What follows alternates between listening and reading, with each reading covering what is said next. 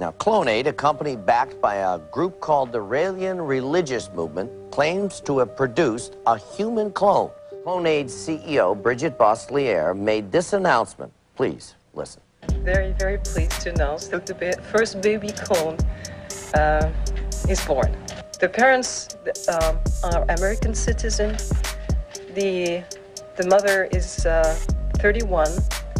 She is the one who has been cloned, and she carried her baby.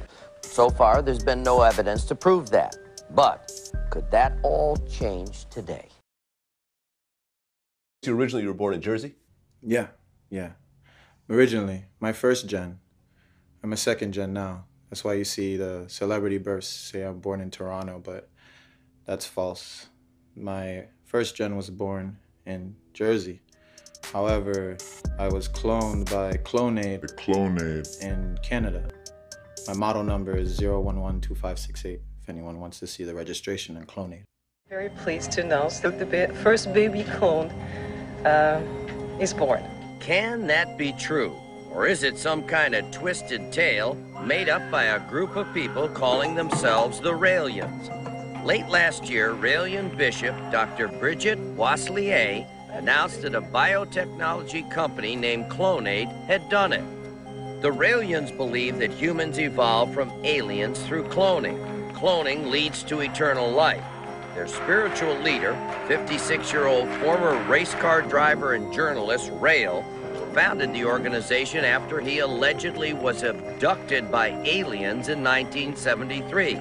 But many are suspect of their claims and are opposed to their practices. Now, Thomas Koenig and Mary Ellen Parent are both members of the Raelian movement, and Thomas is vice president of Clonaid. Um, the debate and the questions from journalists worldwide, not just here in America, is where is the proof? Where is the baby?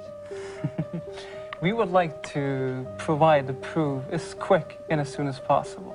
You probably heard about what happened since we made the announcement. There has been this attorney in Florida asking for a garden for the child.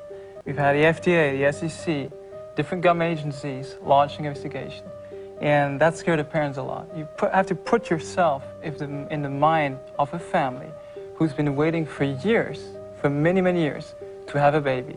They're very happy the baby's here, but they're very concerned about what's happening right now, and they don't want to take any risk for the baby to be taken away. I- so we proceed as soon as possible, as soon as the family will feel safe.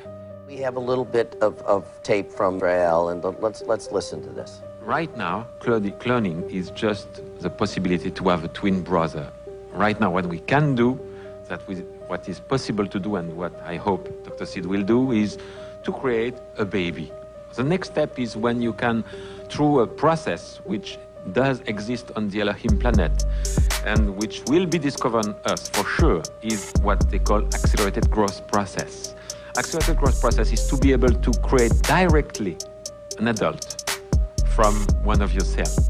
The third step, and this, this is the one we interest, the most interesting, is when you will be able to transfer your memory and personality di- directly in the, uh, the individual you obtain through accelerated growth process. Then it's really yourself, with your memory, with your personality, in a new body. I believe in a new norm now. I believe in a new norm of like, like through the creation of synthesis and DNA that we can live like immortality, like immortal, through clones and transfer our consciousness. I'm in living proof now.